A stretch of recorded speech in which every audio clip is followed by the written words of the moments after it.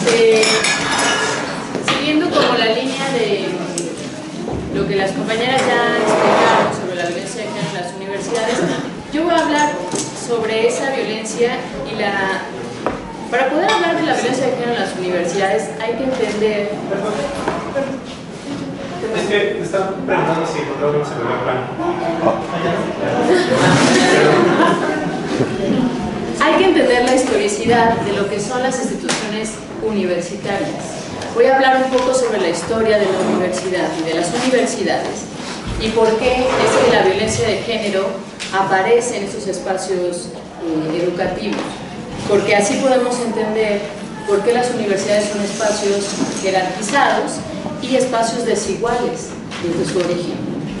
Entonces, bueno, rápidamente, porque no se nos va el tiempo, eh, no sé si les mandaron, yo les mandé el libro de Intrusas en la Universidad, Sí, que, sí, es, sí, sí, que es un, es un libro justo que hizo el, el juez, donde desarrolla toda la historicidad de nuestra universidad y de otras en América Latina y de cómo estas universidades desde un principio estuvieron eh, hechas o se construyeron a partir de eh, ser espacios masculinos exclusivamente. ¿sí?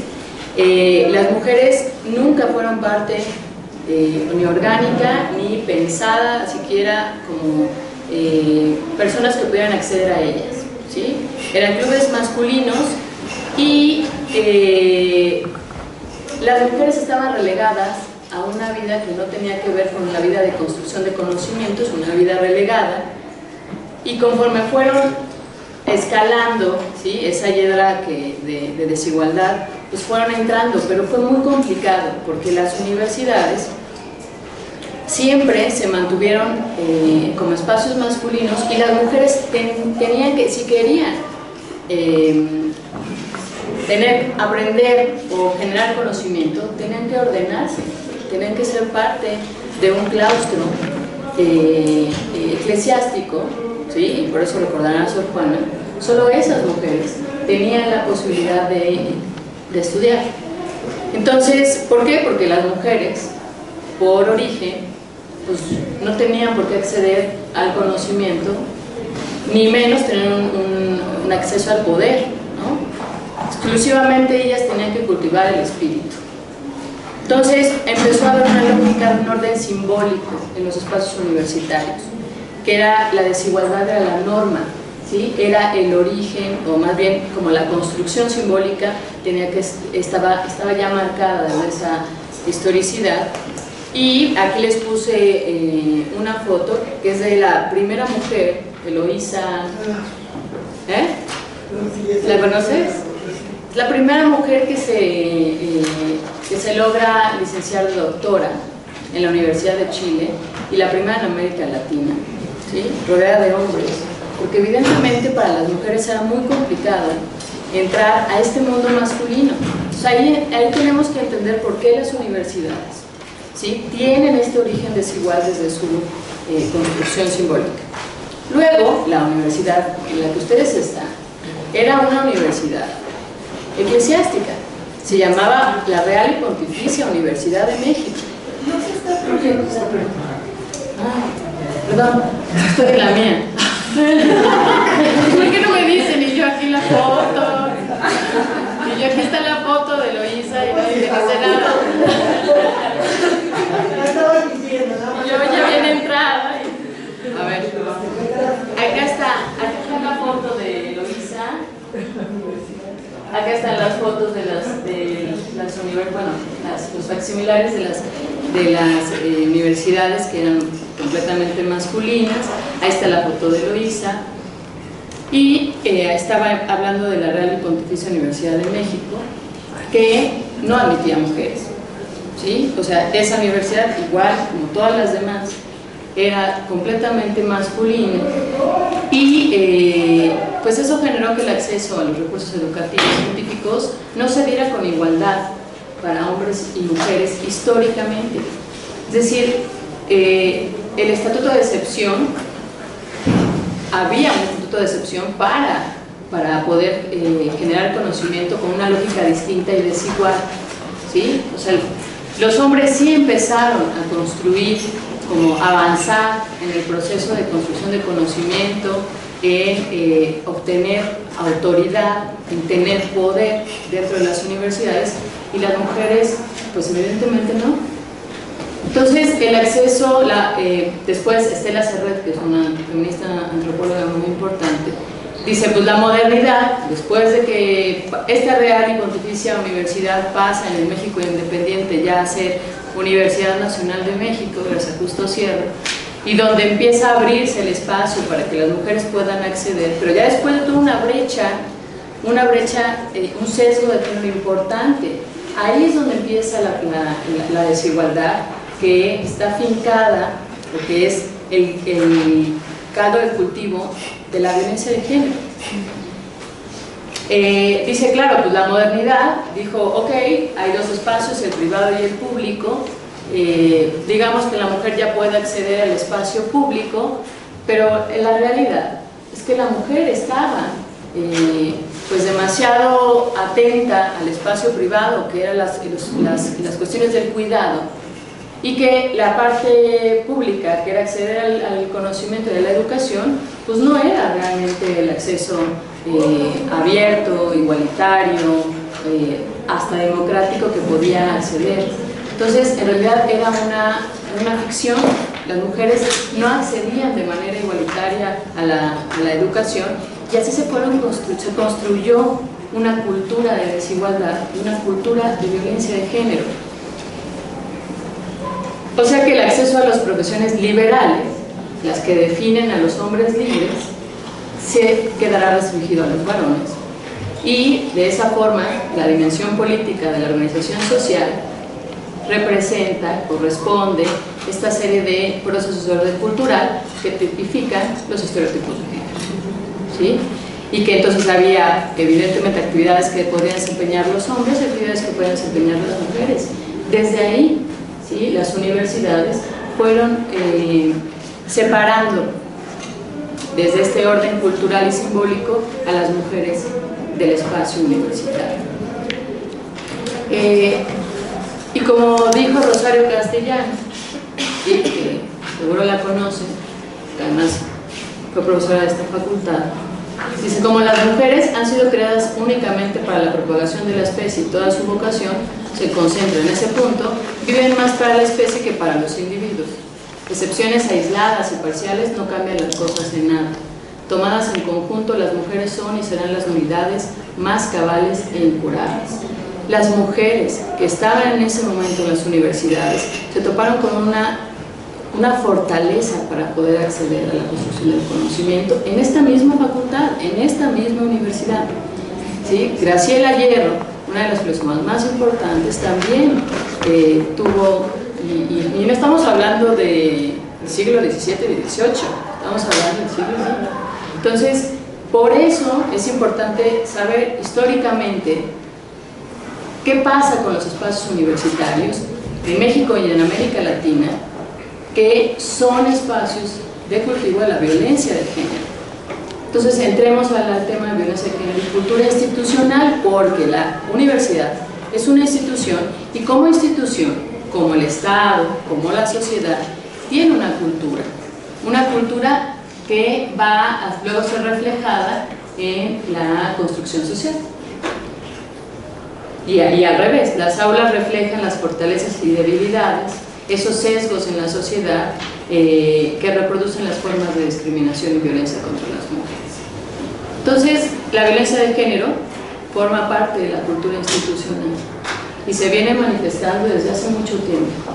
No es un tema de ahora, no es un tema de moda, es un tema que viene afectando a los espacios universitarios hace mucho tiempo y en este país pues todavía más, porque la construcción social de nuestra cultura pues, se ve reproducida en, nuestros, en, nuestra cotidianidad.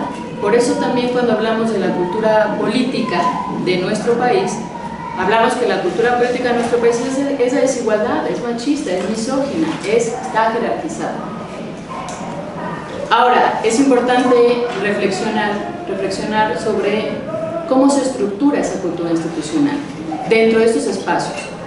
Cómo se usa rutinariamente cómo en la vida de la universidad se, eh, se sigue manteniendo esta desigualdad en los espacios, por eso es muy importante hablar de los espacios, ¿sí? en, la, en, la propia indumentaria. Piensen en la indumentaria de las, de las abogadas y de los abogados, piensen en la indumentaria que utilizan las veterinarias y los veterinarios, porque hoy en día sigue habiendo es muy importante, este, en, las, en las carreras que siguen, hay carreras que están, que son, están, pues sí, como se, se escogen o están mucho más, eh, hay una tendencia más que las mujeres escojan y hay otras que los hombres son los que escogen. Está dividida todavía esa, ese, ese sesgo. Y eh, evidentemente las conductas que prevalecen o que constituyen violencia de género son socialmente aceptables porque son parte de esta, de esta cultura institucional social. Entonces, la especie más dañada y difundida de acoso sexual en las universidades describe, según Brady Weiner, a los acosadores como individuos que necesitan ejercer poder sobre el sexo opuesto, porque eso ha sido parte de la cultura. El, abuso de poder tiene, que, tiene ya intrínsecamente la posibilidad de un individuo que se sabe con poder, porque ha sido otorgado por la sociedad, para poder utilizar ese poder como mejor le parece. Y evidentemente, de manera cultural, ¿quién tiene ese poder? ¿Quién ha estado históricamente en las universidades y dentro de esos espacios? Son los hombres. Entonces, el, hecho de que existan pocas mujeres en puestos altos, en puestos de poder, y pregúntense por qué no ha habido una rectora mujer en esta universidad, o, cuántas directoras ha habido en, en las entidades y dependencias. Por eso es que el problema del abuso sexual ¿sí? tiene implicaciones significativas para nosotras. La educación superior sigue siendo pues yo, bueno, yo la verdad es que creo que paulatinamente estamos ya buscando y estamos eh, ocupando esos lugares, pero sí ha sido un mundo de, de hombres. Y eh, cuando se reconoce en una universidad que hay acoso sexual, se tiende a minimizar porque como es un asunto de mujeres, no tiene una incumbencia institucional. Y eso es lo que pasa con nuestras políticas institucionales. No son unas políticas que rompan la cultura institucional, son políticas coyunturales. Entonces, eh, hablemos de lo que ha hecho la universidad, la institucionalización de la perspectiva de género, porque eh, aunque estos espacios masculinos que, han sido eh, buena parte de la historia masculinos, en la universidad las académicas feministas lucharon y trabajaron muchísimo para que se reconociera todo lo que, significaba la desigualdad de género y por qué las mujeres tenían derecho a estar en la universidad y que cambiara esa cultura institucional de, de desigualdad. Entonces, la perspectiva de las políticas de género en la actualidad apuesta por un enfoque que enfatice la importancia de transformar las rutinas y las prácticas sociales. ¿Por qué? Porque si hablamos de que la violencia de género es un síntoma de la desigualdad, ¿cómo podemos modificar la desigualdad si no es a través de la cotidianidad, de las prácticas eh, individuales y colectivas para romper los estereotipos de género que mantienen, que nos mantienen todavía eh, enclaustrados en, estos, en este y en muchos espacios. Entonces, la institucionalización de la perspectiva de género, ¿qué es la perspectiva de género? De entrada. ¿Alguien sabe lo que es la perspectiva de género? Una metodología. ¿Una metodología? Que nos ayuda a identificar las desigualdades del sistema en un ámbito específico son como unos lentes, ¿no? Distintos. Ver la realidad ¿no? con el enfoque de género. ¿sí? Identificar las desigualdades. Que no solamente es de las mujeres, ¿verdad? Que también tienen que tenerlo los hombres. Entonces, eh, La institucionalización de la perspectiva de género proviene del postulado feminista que afirma que las relaciones de género son la forma primaria de organizar el poder. Y ahí está lo que han hablado del abuso de poder. ¿Y por qué el abuso de poder? ¿Sí? Es una de las características del hostigamiento, sobre todo en las universidades. Porque las relaciones sociales están basadas en la organización y la jerarquización del poder. Entonces, eh, ¿qué, qué, podemos tomar como institucionalizar? Sería convertir, y eso es lo que tendrían que hacer las universidades, y es lo que la Universidad Nacional tendría que hacer, convertir el valor de la igualdad de género casi casi en un libreto cognitivo, en un marco de sentido que funcione como criterio orientador de las interacciones sociales. Por eso no funciona tener solo un protocolo de acción para sancionar a los acosadores y hostigadores. Por eso tiene tantos defectos y por eso no podemos solucionar el problema de fondo.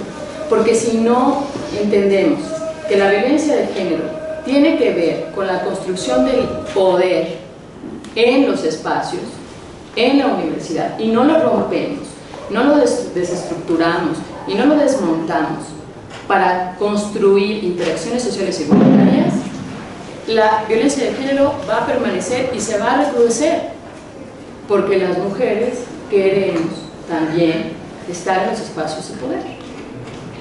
Entonces, eh, hay un, este esquema, la malla de institucionalización de la perspectiva de Levy, es muy claro en el sentido de que, fíjense, una universidad, esta universidad, lo que hizo, y ahorita les voy a hablar de las etapas de lo que pasó en el PUEC, lo que hizo el PUEC, habla de recursos, luego de una ubicación de mecanismo de género, habla de compromiso y voluntad política, de políticas institucionales, de procedimientos, ¿sí? para construir un mecanismo de género efectivo, desarrollo profesional y técnico, que en el compromiso y voluntad política se hable de la presión política de, desde la base.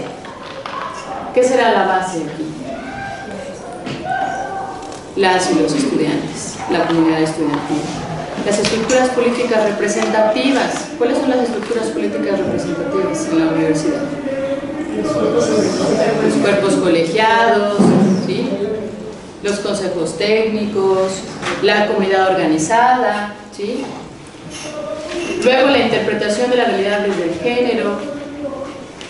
Y a partir de estas dos grandes eh, ramas que tienen que ver con lo político y con las políticas, la implementación de programas y proyectos, la metodología, y luego pues, seguir investigando y elaborar teoría de conocimiento. Pero de, este, de esta red de perspectiva de género, nosotros estamos, estamos pues estamos como a la mitad de todo lo que ha querido hacer la universidad. ¿sí? O sea, cuando el, el PUEC construye en el 92, entre el 92 y el 2004, eh, más bien se constituye el PUEC, el Programa Universitario de Estudios de, Género, pues se inicia este, esta parte que dice Levi, que es la construcción de programas, ¿no? O sea, ya se identificó que eh, identificó esta parte ¿no? de ubicación de mecanismos de género, hay un compromiso de voluntad política, a ver, hagamos políticas. Entonces, ¿cómo lo hacemos para investigar sobre el tema? Construimos el pueblo. Pero ese pueblo, en el 90, tiene un antecedente, y el antecedente son los centros de estudios de la mujer en la Facultad de Psicología, en 1984. Entonces, ¿el impulso de dónde provino? No de las autoridades universitarias, provino de las académicas feministas, ¿sí? que fueran actoras directas para poder generar una reestructuración en la vida universitaria. La segunda etapa es la de la transversalización, que abarca del 2004 al 2010. El juez, en la parte donde dice Levi, generar programas y proyectos, construye un proyecto que se llama así, institucionalización y transversalización de la perspectiva de género en la UNAM. Fíjense, estamos hablando del 2009. ¿Es poco o mucho tiempo? Y entonces, pero ojo, porque ese, ese proyecto fue financiado por la SEP y gracias a ese financiamiento se pudo eh, desarrollar. Eh, se, se desarrolla en los campos de investigación sobre las relaciones de género dentro de la universidad, procesos de formación y sensibilización de género a la comunidad universitaria y luego campañas de comunicación orientadas a, la, a, a estos temas. Había que enfocarlos en la transformación cultural de la organización de la universidad. Hubo un congreso, ¿saben que hubo un congreso en la universidad? ¿Cuándo? ¿Congreso universitario? ¿Del CEU? No, acuérdense de que hubo un congreso universitario en un movimiento estudiantil y eh, ahí se abordó este tema. ¿Qué onda con el tema de género? Con todo lo que ha hecho el pueblo. ¿Dónde está? Y en el 99 también nosotros lo dijimos, en la huelga del 99 lo dijimos. Este, hay todo un tema de género, el pueblo está haciendo cosas, ¿por qué no se ha hecho política? ¿Por qué no hay políticas institucionales para ejecutar lo que ya había propuesto el pueblo? Y la tercera etapa, que es en la que eh, inicia en el 2010, en el 2010, o sea, ya había todo un proyecto de, de transversalización de la perspectiva de género y hasta este momento no habíamos tenido, o la comunidad universitaria no estaba empapada de estos temas, salvo las académicas feministas que siguieron trabajando para impulsar este tema y de una vez por todas identificar tenía que ver con una cuestión de poder, de la jerarquía. En el congreso que se impulsó después del movimiento del 85, sí, del 85, Sí, ¿no? Eh, se habló de la democratización de la universidad. ¿Qué quiere decir la democratización de la universidad? Justo identificar cuál es la estructura que tiene y esa estructura jerarquizada, tratar de hacerla democrática. Pero bueno, hasta este momento no hemos podido deconstruir. Entonces en el 2010 eh, se constituye como política universitaria una comisión especial de equidad de género del Consejo Universitario, que hoy sigue en función. Este tenía el objetivo, o tiene el objetivo de impulsar la igualdad en la práctica, funciones y la cultura de la universidad. Y después, en el 2013, se publicaron los lineamientos generales para la igualdad de género. Desde el 2009 hasta el 2013, esa parte de los proyectos, de los programas, se ejecutan con estos lineamientos. Pero estos lineamientos lo que hacen es decir, bueno, a ver, vamos a entrarle al tema, pero necesitamos poner un lenguaje común. Hay que hacer estadísticas y diagnósticos. Hay que eh, encontrar los, eh, todo lo que tenga que ver con discriminación en el ámbito laboral y académico. Y usemos un lenguaje que pueda ser sencillo cuando hablemos de temas de violencia de género para la comunidad. Y entonces aparece He ¿sí?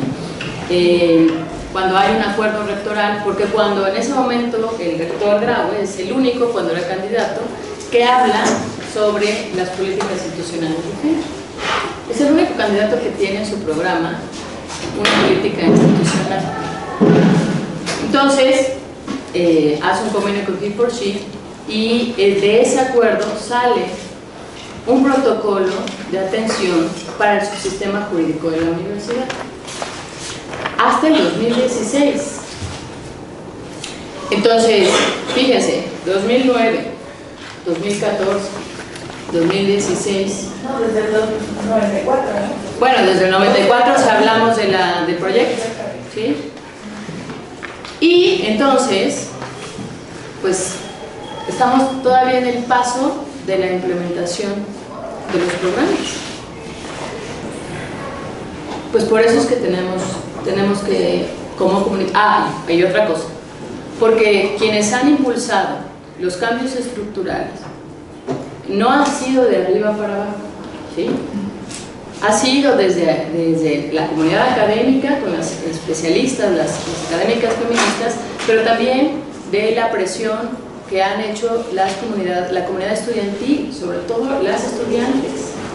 ¿sí? O sea, la red no están solas, que fue una de las redes importantes en la facultad con el asesinato de una de las compañeras, empezó a tener un impulso político importante eh, para poner en, la, mesa de la discusión de la universidad sobre políticas de género la construcción de ejecutar esos programas.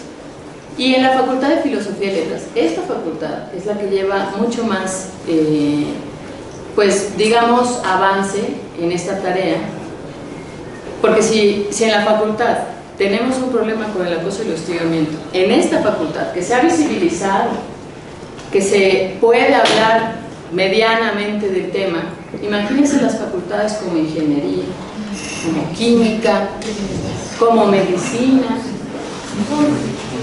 Entonces, es, un problema, un, problema que, tenemos que, empezar a hablar. Que empezar a hablar, bueno.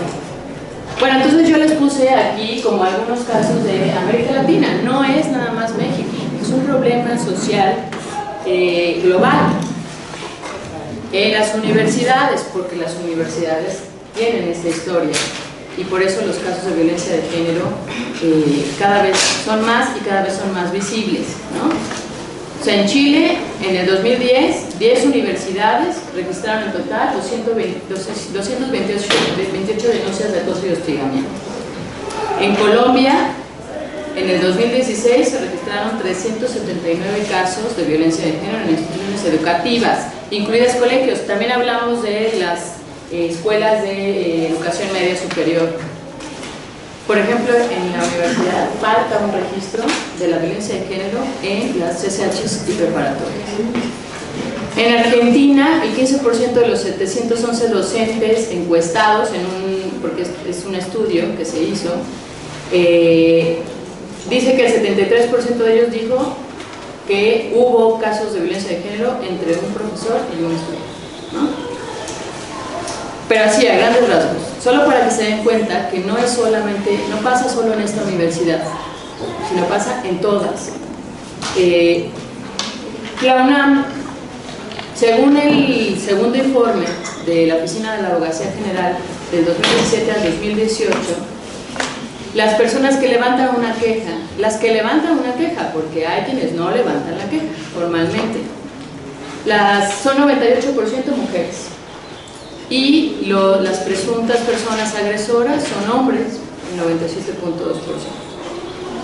Aquí está muy claro, ¿no? La desigualdad, está muy claro, la, estructura, el sistema, la cultura de, de desigualdad funciona. Está muy claro. Y Vean aquí cuántas personas que presentaron una queja 251, presuntas agresoras 256, los alumnos son el 79.3%. Pero a mí el que me preocupa más es este, el académico. Los académicos que son presuntos agresores son el 28.1%. O sea, pareciera que sigue habiendo los resquicios de esas universidades del siglo XVIII, XVII, donde el poder sí, es ejercido en contra de las mujeres. Y ya para ir terminando, Facultad de Filosofía y Letras. En la unidad de género que tiene esta facultad, que es la única facultad que tiene ese espacio, y que gracias a ese espacio podemos tener un diagnóstico más claro de cuáles son los tipos de violencias que se, que se dan y qué tipo de acciones de esta institucionalización tenemos que hacer, pues están estas. En esta facultad hay casos de violencia sexual, hostigamiento, acoso, abuso y violación.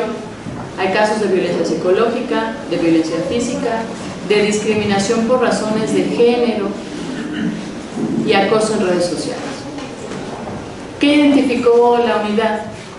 Que de entrada se necesitaba eso que hablaba Levi y que estaba en el proyecto del 94 del PUE, que era capacitar y formar a la comunidad docente y administrativa en perspectiva de género. Y abrir espacios de, diálogo sobre temas de género y derechos humanos. ¿Por qué abrir espacios de diálogo? Porque uno diría, pues estamos en la Facultad de Filosofía y Letras. O sea, es el lugar para poder hablar de la ética, para poder hablar de eh, responsabilidad y corresponsabilidad, pero no los tenemos. Y por eso es muy importante el trabajo que están haciendo.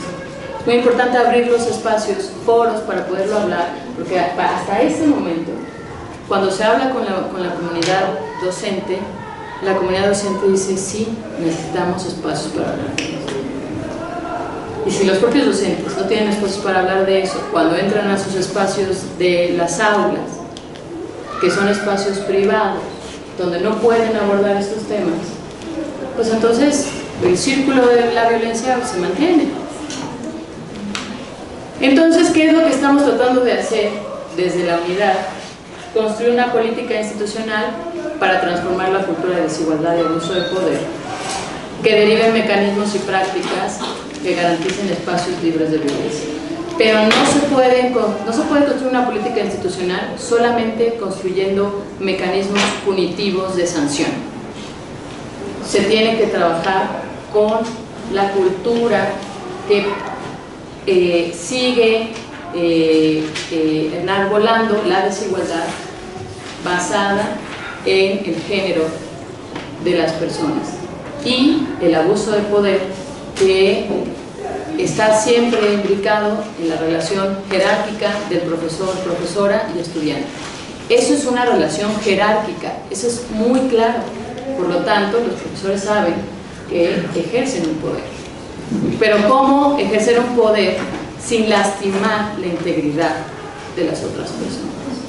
Es el punto. Y bueno, pues hasta ahí mi presentación. Este, ya llegaremos a las preguntas para hablar sobre, sobre este tema. Gracias.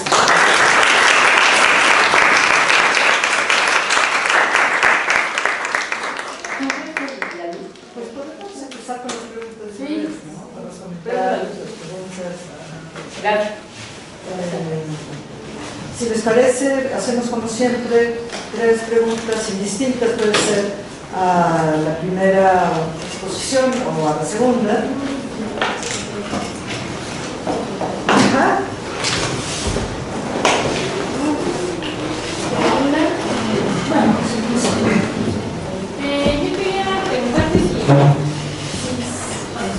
Este, ¿Cuál fue la razón que, para que se diera paso de lo que dijiste fue el antecedente al juez de las estudios de la mujer? Que ahora es el centro. Que ahora es el centro de estudios de género.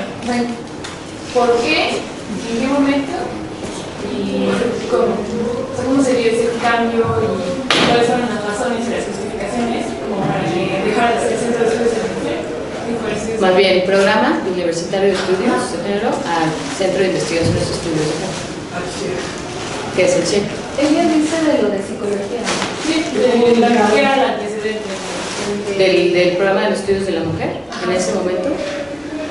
Pues es que justo tiene que ver con lo que decía de, eh, de cómo las académicas feministas fueron las que impulsaron el cambio institucional, cómo promovieron que el- esa desigualdad que seguía, que se mantenía, pues tenía que irse eliminando paulatinamente, pero tenían que ir obteniendo poder, tenían que ir construyendo como estas, eh, pues sí, las, las formas necesarias para poder tener poder y llegar a la parte de, eh, de abrir las posibilidades de los estudios de género, porque nadie hablaba de género en esta, en esta universidad eran las mujeres, las, las mujeres feministas, académicas feministas que construyeron eh, propuestas para construir un programa de investigación. Todo empezó por la investigación, para hablar sobre diagnósticos de desigualdad, sesgos de género en las carreras, eh, la obtención de, de ciertas prebendas académicas, los, el acceso a, los, a, las, a las becas, o sea, todo eso derivó de que se, se, se institucionalizara el estudio de género. Pero ese tipo de problemáticas se trataban antes en el Centro de Estudios de la Mujer de la Facultad de Psicología o qué tipo de problemáticas se trataban cuando era Centro de Estudios de la Mujer. Pues es que, o sea, en el Centro de Estudios para la Mujer eh, se abordaba justo la problemática social que tenía que ver con eh, cuáles eran las- el acceso de las mujeres a la vida política, a la vida pública. Acuérdate que las mujeres estaban, estaban metidas en la vida privada. Por ejemplo, las, vías- las mujeres eh, para el acceso a la justicia, el acceso a la educación o, a, eh, o también al- a, poder entender cuál era su, su forma de vida en esta vida privada, de, que estaba, pues estaba encerrada en la casa, en la vida doméstica. Entonces, esos eran los, los estudios que estaban haciendo, hacían diagnósticos de desigualdad, pero tenían que sistematizarlo y hacerlo todavía mucho más, mucho más fuerza, ¿no? Y además ir sumando esfuerzos. Porque si las mujeres en ese momento no tenían acceso a la construcción de conocimiento, pues había muchas mujeres que seguramente no podían decir abiertamente, estoy trabajando este tema. Yo me imagino también que en ese momento muchos hombres debieron haber negado la posibilidad de estudiar o de hablar sobre esos temas. Y con la, institucionaliz- la- la institu- institucionalización se, da se abre la puerta para que eh, se pueda como, pues sí, dar el apoyo, ¿no? abrirlo a la comunidad y decir esto es un problema. Y justo para institucionalizarlo tuvo que, que convertirse en, en lo de estudios de género. y luego en un centro de investigación. Porque una cosa es que sea un programa solo de investigación y luego un centro. Ajá, pero donde mi pregunta es como, ¿por qué en este proceso de institucionalización, de ganar como espacios espacios, este, dejó de ser el estudio de la mujer y a ser, o sea, había como un cambio en pensamiento feminista? Carrera. eh, o- ¿Ya sé? Sí. Que no, se, que no sigue el diálogo. Ah. Quisiera, quisiera, quisiera participar en un pero por favor, perdón. que a mí me tocó estar en el proceso del SEMA, en psicología, y iniciamos, bueno, eh, se inicia con una nosotros y otras compañeras el Centro de de la Mujer, y la idea en ese momento no de no existía para nosotros en ese momento.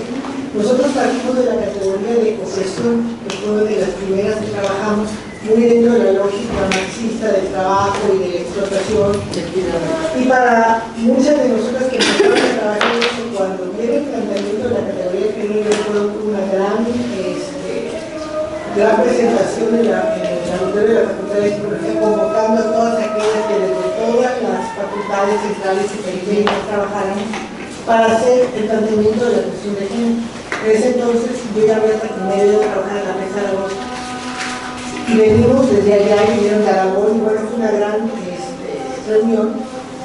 Cuando nos hacen el planteamiento de género, yo recuerdo que salimos, pues varios de las maestras que todavía estamos haciendo trabajos ahora desde la perspectiva de género feminista, que en ese momento estábamos trabajando con las categorías de eh, violencia, opresión este, y vida doméstica. División del trabajo, ¿no? Y el, sí, el trabajo sobre todo porque fue la apertura en ese momento que empezaron a aparecer mujeres femeninas en los reyes y entonces era así como, ay, ya nos estamos liberando, y bueno, fue un gran, un momento.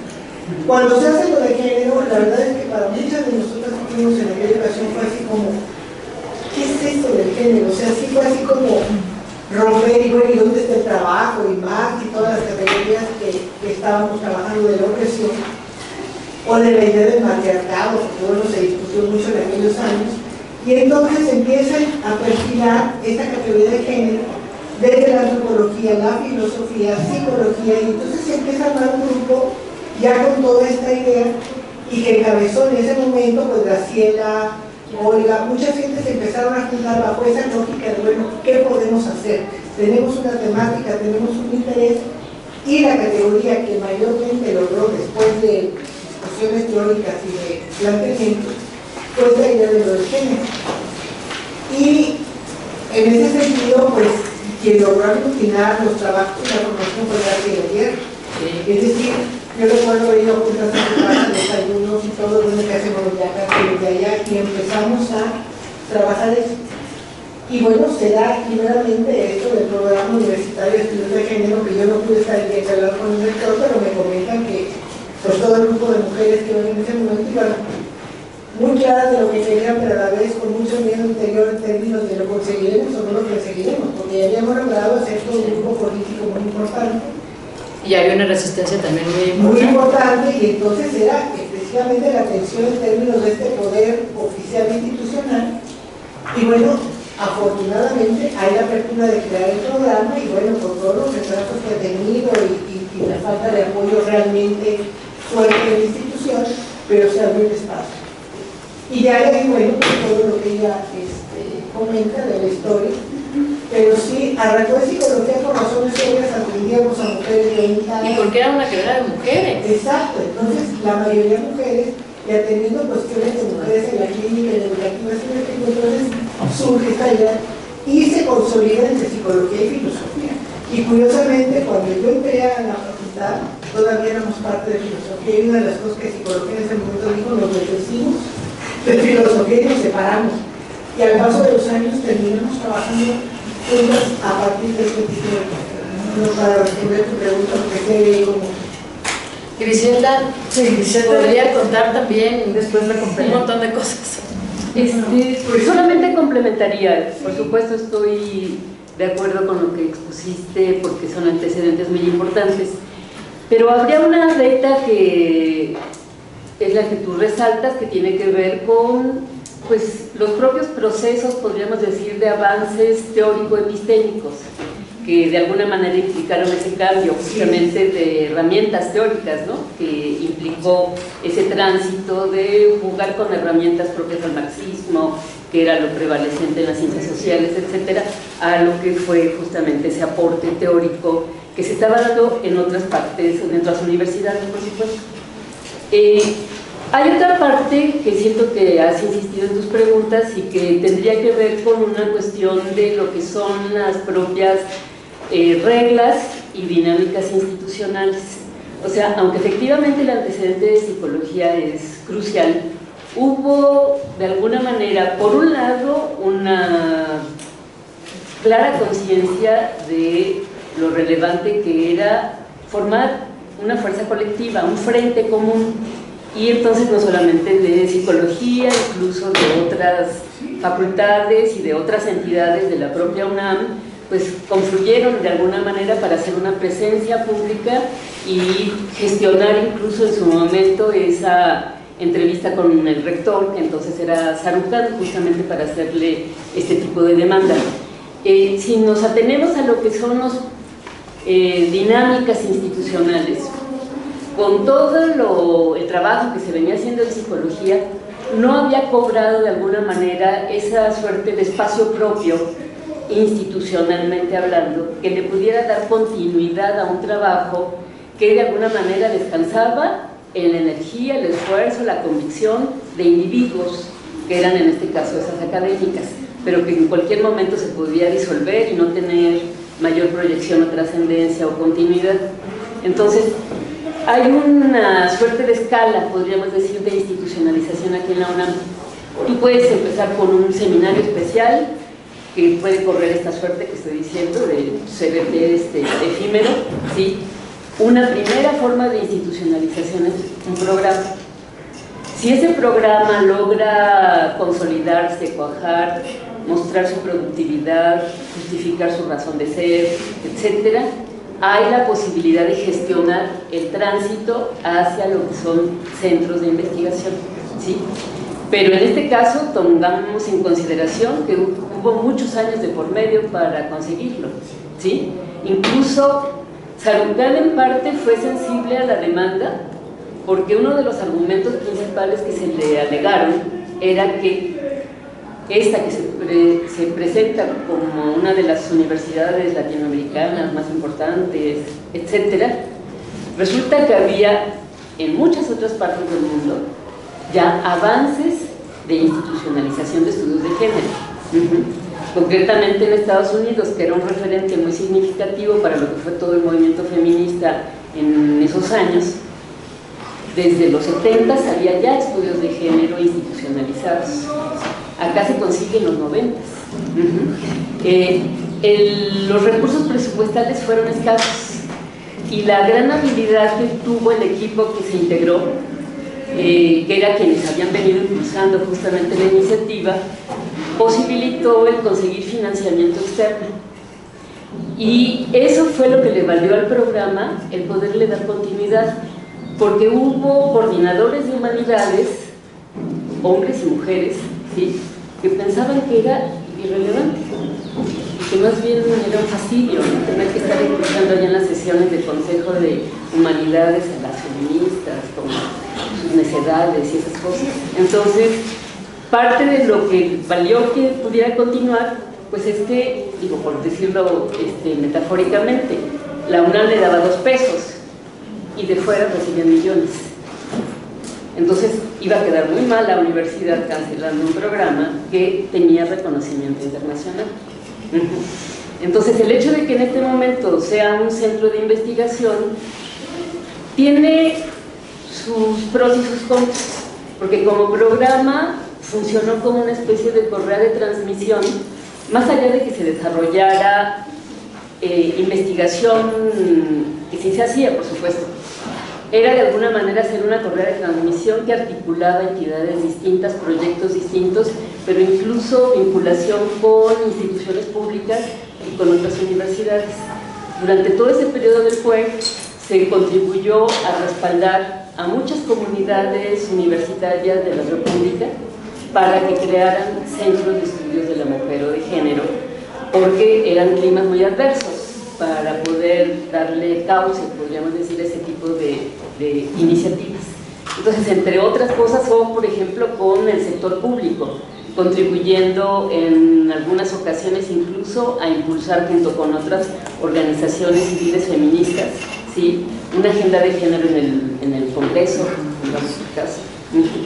Entonces, fue un trabajo muy interesante. El que ahorita esté en esta calidad de centro de investigación no es que se cancele esa posibilidad de ser correa de transmisión, pero de alguna manera pues, focaliza en lo que sería el desarrollo de líneas de investigación a la manera en que se hacen en los institutos y en otras eh, instancias ¿no? de la propia universidad. Compañera, ya. No sé bien cómo formularlo, no sé si me Ok.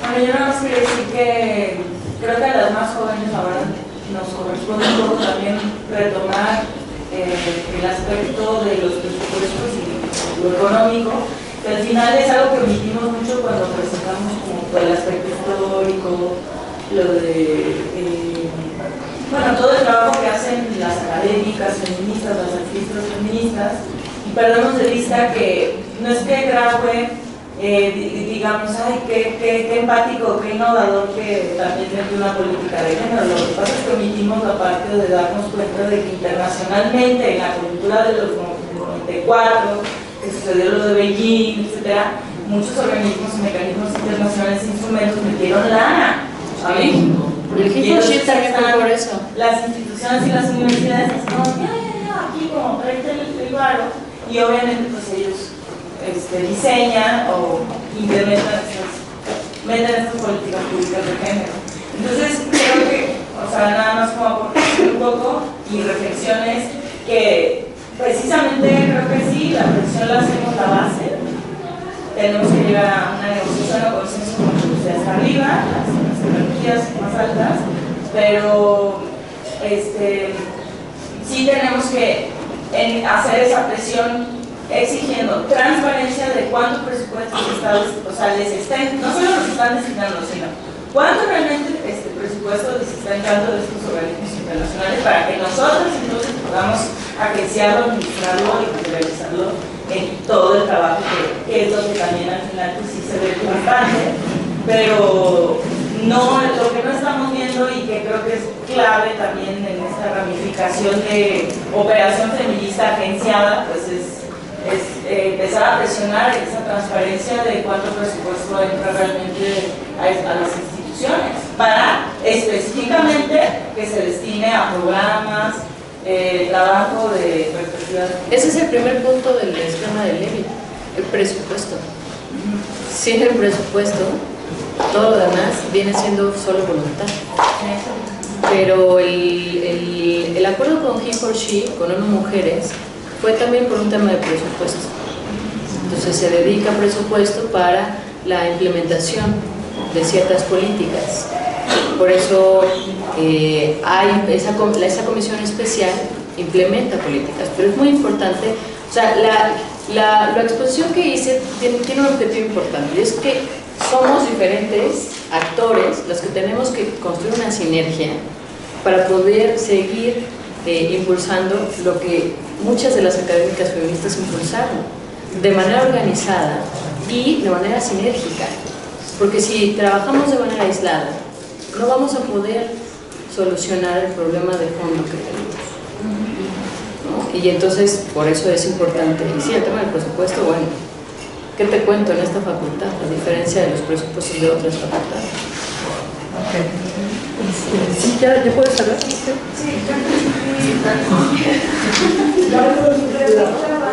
más hacia eh, plantear, por ejemplo, que la institución, ¿no? como el nacimiento de la institución, como una institución con base de hombres, hecha para hombres, con vista solamente hacia los hombres, ¿no? Y ahí es, en ese medio es en el que se está queriendo gestar como todo esto.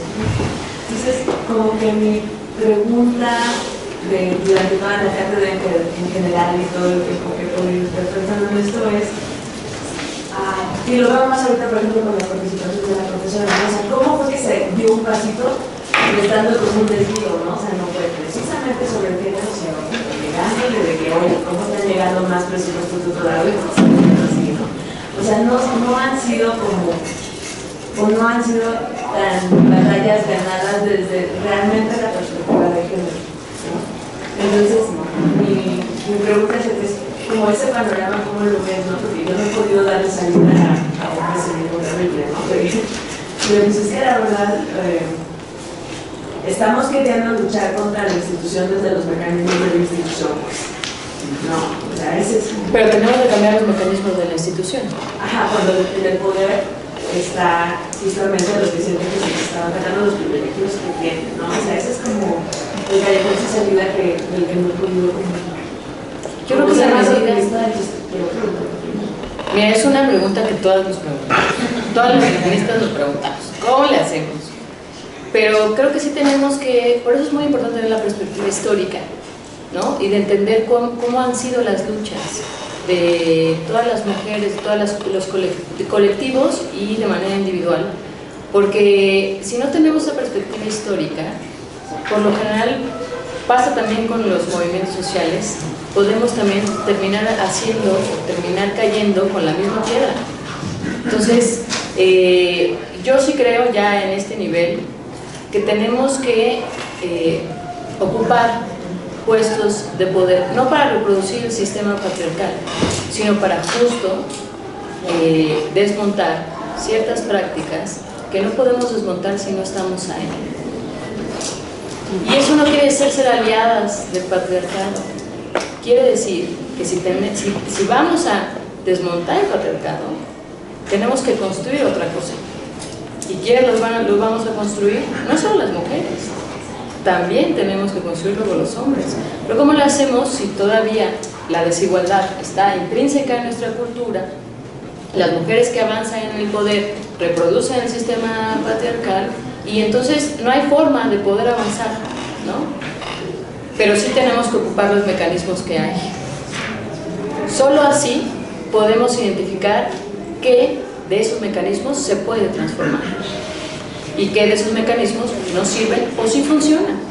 Porque tampoco es que no nada funcione. Si nada funcionara, no estaríamos en una cátedra como esta, ¿no? O no tendríamos un centro como el que tenemos. O en otras universidades no habrían posgrados que hablen sobre estos temas o no habría esta, este impulso latinoamericano que, eh, que, habla también de una ya de, de, un hartazgo ¿no? frente a un sistema opresor que ha venido eh, históricamente oprimiendo. Entonces yo le apuesto a la organización, le apuesto a la organización, le apuesto a la colectividad, le apuesto a la sinergia y le apuesto a al conjunto, ¿sí? No a la separación, sino a la unidad, porque así es como le han hecho. Yo creo que esa es una fórmula que tenemos que seguir manteniendo. Gracias, Carla. Sí. Eh, quisiera hacer algunas énfasis sobre lo que nos hicieron favor de exponer ustedes, por supuesto. Pero antes quiero hacer una aclaración. O sea, cuando yo me referí a que uno de los motivos por los que las autoridades centrales no se atrevían a darle término a la vida del programa era porque se recibía financiamiento sustancioso del exterior, no es para quitarle significado, mérito al trabajo de investigación y al trabajo de gestión y al trabajo político de quienes estaban en el programa de estudios de género. No nos confundamos. ¿Sí? O sea, es como si dijéramos, bueno, hubo guerras mundiales y eso obligó a que las mujeres salieran a los espacios laborales este, para sufrir a los señores que estaban en el frente. Eso ha implicado transformaciones. Claro que hay factores objetivos que pueden estar impulsando o dándole un sesgo en determinado momento a las experiencias históricas. Pero hay una dimensión social, hay una dimensión simbólica, hay un trabajo que no podemos menospreciar. Y en este caso, el trabajo que se ha venido haciendo por parte de los grupos eh, de investigación, los grupos académicos, docentes, etcétera, es muy sustancioso, aunque a veces parece que no se valora o no se aprecia lo suficiente. Y yo lo que quisiera en este caso, sobre todo resaltar, porque me parece que es lo que es muy valioso, desde luego que hay que posicionarse, hay que gestionar, hay que alcanzar y conquistar espacios, presupuestos, exigir transparencia y todo lo que tú estabas planteando.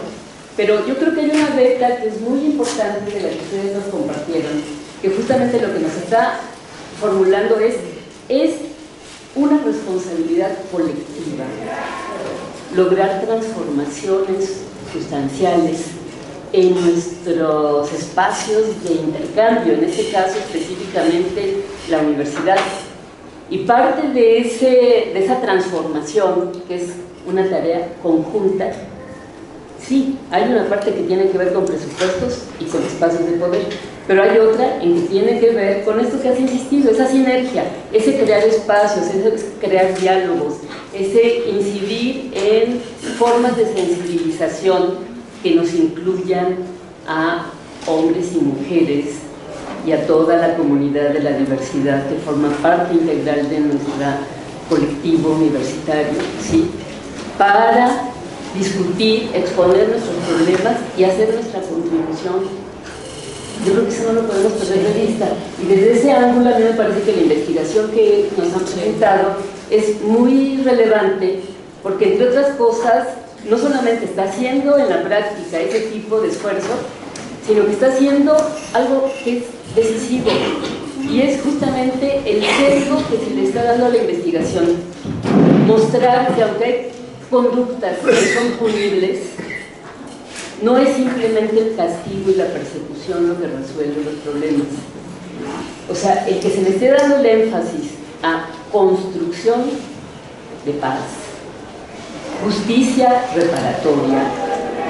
De alguna manera lo que está implicando es atendamos esa otra dimensión de asumir colectivamente los problemas, buscar alternativas, podríamos decir, de socialización de esos problemas y formas de solución que no necesariamente son las carcelarias. Eso es bueno, sí, justo esto, gracias por hacer este énfasis, que me gustaría abrir la pregunta para reflexionar para todas y para todos aquí presentes. Cuando tú hablabas, Carla, también sobre cómo vamos a pensar en mecanismos de denuncia y además de organización que no dañen la integridad de otras personas, pues está siempre en medio esta discusión sobre qué, qué, nos, qué nos va a dar justicia, ¿no? y si la justicia que estamos exigiendo y peleando va a ser constructiva o no para un cambio cultural como del que hablaba Carla. Pues porque a veces todas las fuerzas se, vuelcan en justicia queremos que esté preso, queremos que no sé qué, y al final cuando está en la cárcel este hombre termina siendo igual o más machista, ¿no? O sea, es como, ¿y, qué, va, ¿y qué va a hacer este profesor al que solo le dieron ocho días? Y, o sea, va a ir a, a círculos de hombres para cuestionar su masculinidad, va, ¿qué va a hacer? O sea, para resolverlo. Yo la verdad siempre he pensado como en esta cosa de, no sé si han visto la película de la naranja mecánica, donde le hacen como un reset de toda su vida y que lo abren así. Yo digo, pues que les pongan algo así a los hombres menos violento, pero sí una serie de sensibilización visual mientras estás ahí como de, de sensibilización visual de qué es esto, o sea, que si es acoso, se entiéndelo, ¿no? O sea, es, tu frase no me está haciendo sentir bien, me, me violenta. Claro. Nada más eso.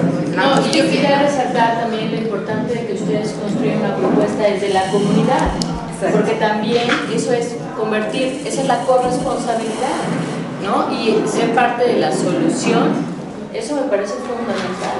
O sea, si vamos entendiendo que la corresponsabilidad, que también tiene que ver con un valor ético, es de todas y de todos, entonces es mucho más fácil construir estos mecanismos de justicia restaurativa, ¿no? O de reparación del daño individual y colectivo, de repensar qué estamos haciendo y no ser omisos cuando vemos una acción, ¿sí? Que no nos Sobre pasa a nosotros, ¿no? Sí, sobre Y eso es algo que tiene que quedar en la reflexión. Claro. Este, yo creo que ya no hay más preguntas, más comentarios. Solamente tenemos que declarar finalizada esta cátedra con un broche de oro, con estas dos participaciones, esta discusión interesante, importante para la facultad. Y bueno, pues yo espero que que todo esto que hemos escuchado, que hemos aprendido en este semestre, pues contribuya realmente a que estos deseos de cambio, de transformación que se han planteado a lo largo de, de todo el semestre, pero que en particular en, en el día de hoy, ¿no? en relación con la facultad, pues esperemos que, que sea fructífero y que tanto en lo personal como en lo colectivo y en lo institucional, pues algo bueno y positivo traiga todo esto. Eh, les agradecemos, la doctora Gutiérrez y yo les agradecemos su presencia, su interés, su constancia, su participación, que creo que ha sido de lo más importante, su inquietud, su interés de, de poner en cuestión incluso, eh, de complementar, de añadir y, y criticar también, que ha sido realmente importante. Bueno, pues nos despedimos. Pues nada. Muchas gracias.